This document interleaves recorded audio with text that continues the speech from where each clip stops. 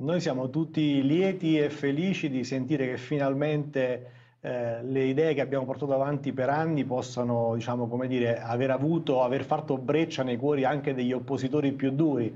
Quindi da questo punto di vista sapere che il reddito di cittadinanza è una di quelle proposte eh, che oggi viene eh, messa a modello anche a livello europeo come un possibile sostegno da estendere a tutta Europa, così come il super bonus per avere una transizione energetica anche nell'edilizia, sapere che queste cose piacciono è, è, una, è una, gioia. Quindi contenti che Berlusconi vi faccia complimenti, dopodiché lo, lo votate al Quirinale, no? Ovvio. è un sillogismo sillogismo, un sillogismo che non sta in piedi, però quello che voglio dire è che spero che questo stesso entusiasmo ci sia anche su altre proposte, per esempio su quella del salario minimo che sarebbe bello poter portare a casa. Sulla eh no, no, adesso arriviamo al salario minimo. altrove. Il Berlusconi voi non lo guardate come ipotesi quirinalizia, no?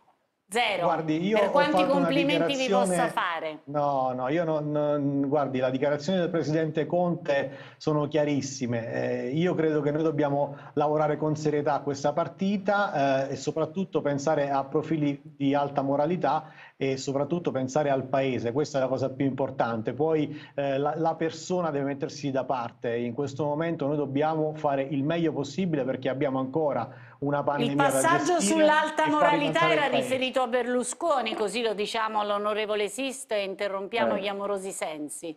I passaggi sulla moralità sono riferiti secondo me alla qualità dei candidati che dobbiamo esprimere eh, per eh, la presidenza della Repubblica, che ricordiamolo a tutti. Qualità è, che diciamo, Berlusconi non avrebbe, me la dica dritta però, onorevole Sibilia. Guardi, No, guardi, io, eh, io, sono in linea assoluta con quelle che sono le dichiarazioni del Presidente Conte. Ritengo che sia secondo me eh, da, da, scartare eh, sicuramente non è una nostra candidatura. Ecco, questa è la cosa che ha detto il Presidente Conte, io la condivido al 100%.